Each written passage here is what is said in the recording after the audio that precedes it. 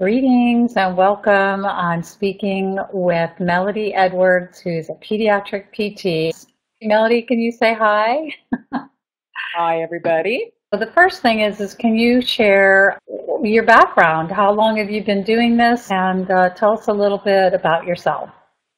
I've been practicing 37 years, and for all of it, except for about two years, I've done pediatrics and I love it. And um, if I only had one tool in my therapy toolbox, it would be the reflex integration stuff. It has been the most valuable thing I've ever learned in my entire career. Yeah, movement is so key to our well-being. And one thing about these rhythmic movements and reflexes is that they are what we are designed with to develop in the first place. And I think that's the main reason why they work so well. But you're going to tell us how they're working for you, because that's a big thing to say, wow, I have all these tools, and if I could only pick one, I would pick these uh, reflex integration tools. Uh, so reflexes and uh, the rhythmic movements are um, also reflex integration tools. So tell us more let me just go to this first slide. So um, you have a whole case study written up about this young child here. Um, tell us about what happened in this case. So Tate came to me after he had already received nine months of physical therapy. And he was 13 months old, and usually at that age, don't see a ton of progress because they're already walking around. It's hard to get them to stabilize that shoulder girdle with their hands on the floor and that kind of stuff. So I wasn't real optimistic with this guy. He had um, a left lean that at best was 30 degrees and a right rotation, just real straightforward torticollis with um, the right rear head flattened from that position. And um, happened to be taking your second level brain and sensory foundation course and learned some new things. I was absolutely, utterly amazed that just in uh, two months, got almost complete resolution of that torticollis, and he's still doing good now. I checked with his mom yesterday just to make sure all was well, and it is, and it was because of the the um, using those reflexes so the body automatically wants that head in midline and automatically wants those arms working. And so that was just amazing to me to get resolution so quickly on a child that old for the diagnosis of torticollis. It seems to me from doing this a long time that the brain and the body really take these movements um, and can utilize them.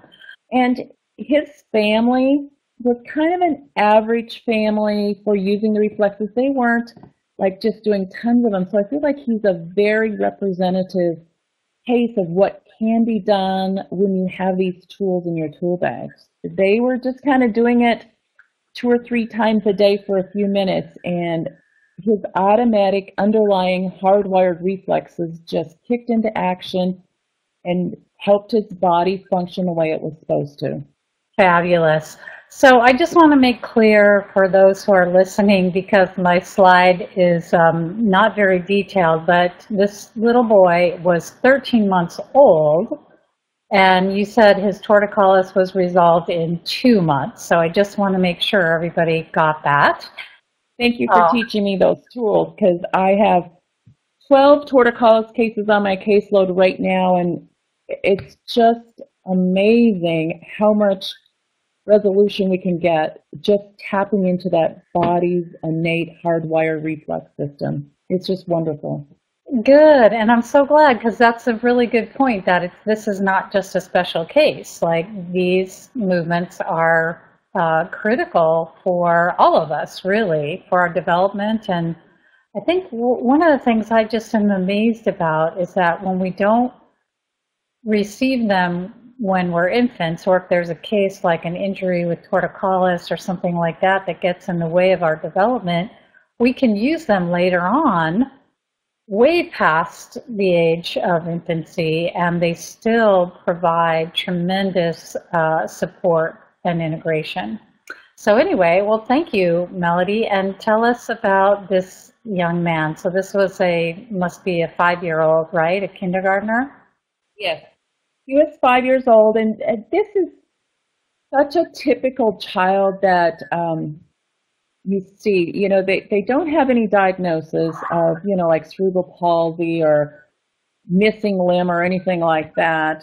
They get to kindergarten and they're just not thriving on the playground.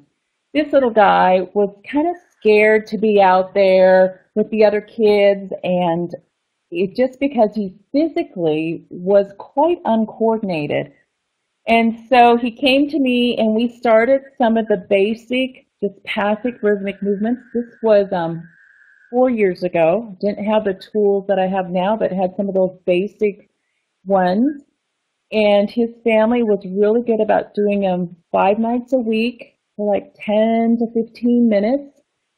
And um, in six months, he, on the Peabody developmental motor scales, he went from a negative 2.6 standard deviation below the mean to negative 0.41. That is just unheard of. And his age equivalency, the first time I tested him was 22 to 28 months, depending on which subtest you looked at, and it jumped clear up to 52 to 71 months. So there's three subtests in this gross motor one, and so they were in that range. And I noticed on your um, slide there, um, Sonia, that his age equivalency increased much more than six months.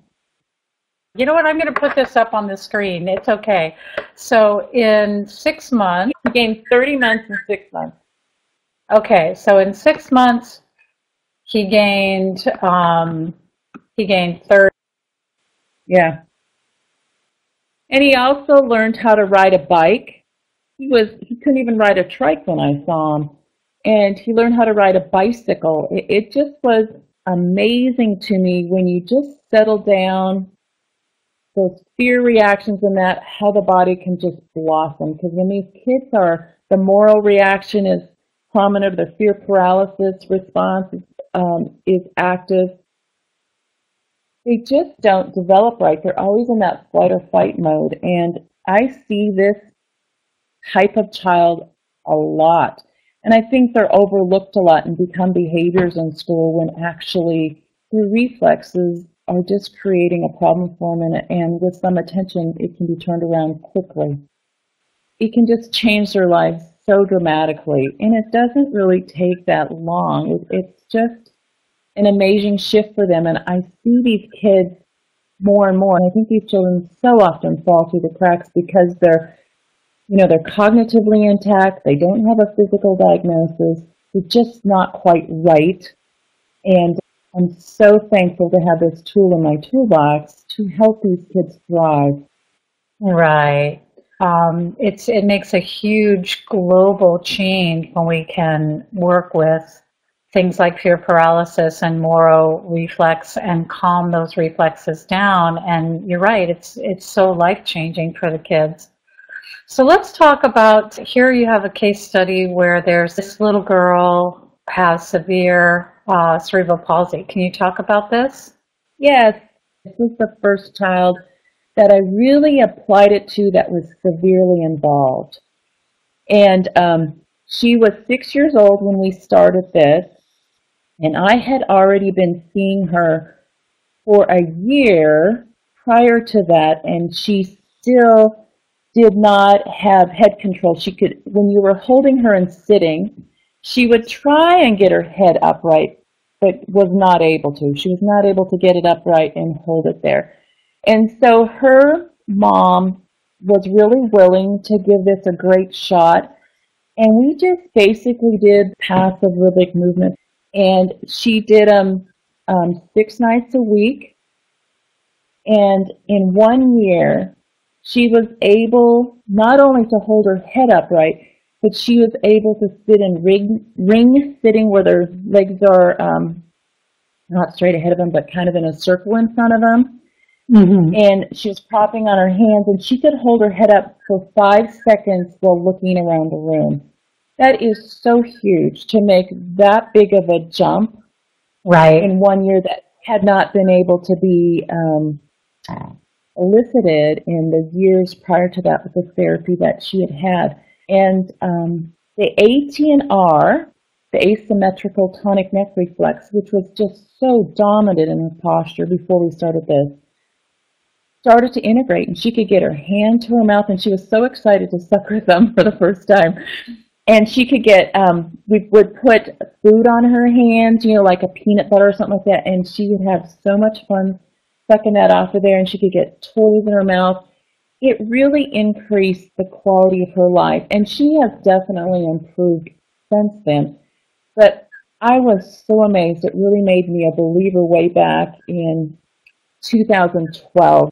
These reflexes work across this continuum of the severely involved child to those who are basically typical and just struggling a little bit to kids who were normal and fell out of the tree and broke their arm and now their fear reflexes are active and it's just amazing how it works on so many. It, it is the best tool in my toolbox, no doubt about it.